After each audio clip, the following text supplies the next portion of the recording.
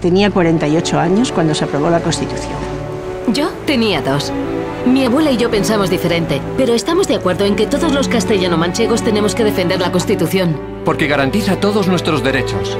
Nos ha convertido en un país... Y una región moderna. Y porque queremos vivir así. Como castellanos. Como manchegos.